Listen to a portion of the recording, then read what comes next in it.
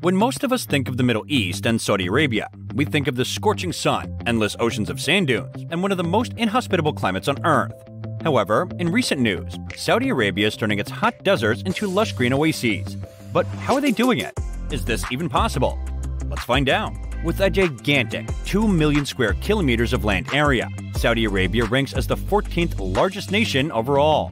However, 95% of the kingdom is a scorching arid desert with a ton of sand. Additionally, it is one of the rare nations without even a single permanent river. But if you observe the country now, you'll discover something completely unexpected arable land. In the harsh desert, sources claim that Saudi Arabia has developed a network of farmlands where architecture flourishes and farms may harvest a wide variety of fruits. Additionally, you will see right away that the majority of the farmlands are circular, so, how did the oil rich kingdom multiply its arable land in such a short period? Well, although Saudi Arabia may have many sand dunes, things weren't always like that. A considerable rise in rainfall and the growth of lakes and vegetation in Arabia around 10,000 years ago helped to support human settlements all across the peninsula. However, a string of severe droughts in the millennia that followed caused profound changes in the ecology. After that, people continued to live in the sandy region, so, while water is scarce on the surface, Saudi Arabia sits on a reservoir of water known as aquifers. This is similar to how the kingdom sits above massive amounts of crude oil.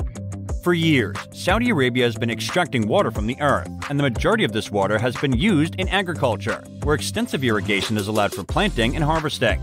Water pumping from underneath the ground does have one drawback, though. Aquifers may go dry, especially if they are used for extensive irrigation, as Saudi Arabia has done.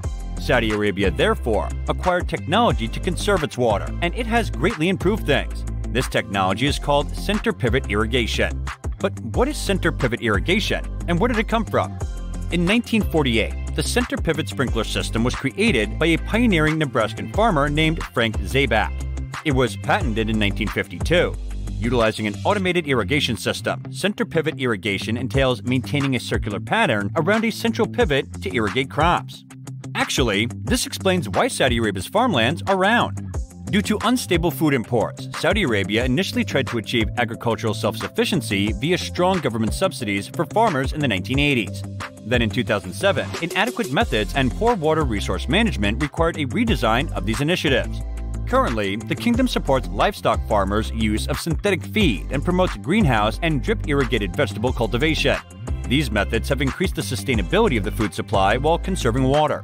Therefore, Saudi Arabia has employed technology to assist in making its agricultural business as efficient as possible, following disastrous attempts in the 1980s. The use of satellites to capture images of agriculture is one of the new tactics. Understanding the connection between crop growth and total water use is the goal of the thermal images that emerge. This makes it easier for farmers to analyze the water needs for various crops and determine which one would yield the most given a certain amount of water. Now, despite the threat that climate change brings to agriculture worldwide, the kingdom's varied climate gives it the perfect place to grow palm trees. The 33 million palm trees in the kingdom account for 27% of all palm trees in the globe, while 120,000 agricultural holdings produce 1.54 million tons of dates annually across 13 districts. The three most significant administrative regions for date production in the kingdom are represented by the cities of Qasim, Al Ahsa, also known as the mother of palm trees, and Madinah, which are situated in the country's center, east, and west respectively. Second, in line with palm trees is coffee beans. Coffee and dates are two iconic products and a famous Saudi combination. The Saudi principles of hospitality, music, and poetry are so deeply ingrained in coffee that it is acknowledged as a fundamental component of Saudi folklore. In terms of the quantity of coffee beans produced, Saudi Arabia is rated 50th in the world.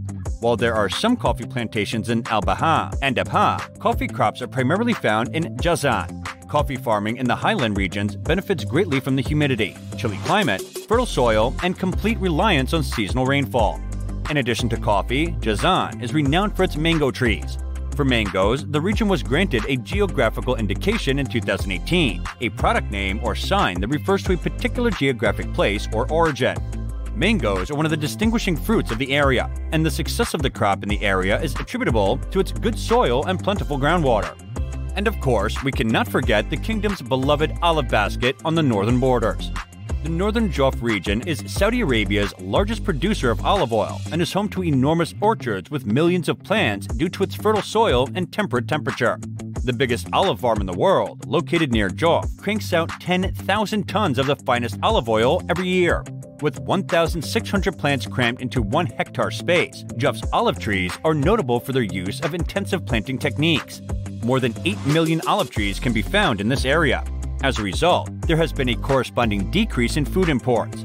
Saudi Arabia currently exports wheat, dates, dry products, eggs, fish, poultry, vegetables, and flowers to markets throughout the globe. In addition, extensive dairy, meat, poultry, and egg production has been implemented, and local farmers are now supplying the domestic market with a variety of goods that were previously imported. Currently, the kingdom is home to some of the biggest and most advanced dairy farms in the Middle East. Moreover, with one of the highest rates in the world, milk production boasts a remarkable annual rate of 1,800 gallons per cow. On the other hand, despite the fact that traditional offshore fishing has consistently increased fish production, the kingdom is looking for ways to boost its catch and encourage more private investment. Aquaculture is one of the newest industries in which the private sector is making investments with government assistance. There have been an increased number of fish farms using tanks on land or marine pens. The majority are found along the Red Sea coast of Saudi Arabia. In addition, growing shrimp has proven to be extremely profitable. For instance, the National Shrimp Company, Al Rabian, operates a farm south of Jeddah under the supervision of Saudi hydrobiologists and marine engineers. The company's shrimp, particularly the popular black tiger shrimp, are primarily shipped to the United States and Japan. Now, in light of the global fight against climate change, Crown Prince Mohammed bin Salman launched the Saudi Green Initiative in 2021, with more than SR 700 billion of investment in the growth of the green economy. This announcement has emphasized the initiatives and goals that would progressively transition the kingdom to use clean energy, safeguarding the environment and improving it for coming generations. By 2030, 450 million trees will be planted as part of the effort, and 8 million hectares of degraded land will be restored. Additionally, in order to aid in the restoration of the kingdom's mangrove forest shoreline, 4 million mangrove trees have already been planted. In addition, the Green Program includes pledges to lower carbon emissions, combat pollution and soil erosion, safeguard marine life, and raise the proportion of protected areas in the nation. In conclusion, Saudi Arabia's improved farming techniques and technical development have contributed to the development of a more reliable domestic food supply in the kingdom. The Saudi government has directed its subsidies and programs toward more productive crops and endeavors, such as fish farming, after learning from its missteps in the 1980s. Additionally, it has turned away from the wastewater related crops and growth techniques, while new cutting edge technologies like center pivot systems offer optimism for the future of Saudi food security and sustainability. Technology like satellite utilization helps with existing Saudi output. The Saudi government has acknowledged this problem and is making a concentrated effort to restructure its architectural sector, even while imports currently make up the majority of its supplies. These initiatives have the potential to assist Saudi Arabia to avoid a serious food and poverty catastrophe in the future. And that's all for today, guys. I hope you enjoyed the video. We will be back soon with more amazing content, so stay tuned. And don't forget to like our video and subscribe to our channel so you don't miss any of our latest updates. Thanks for watching.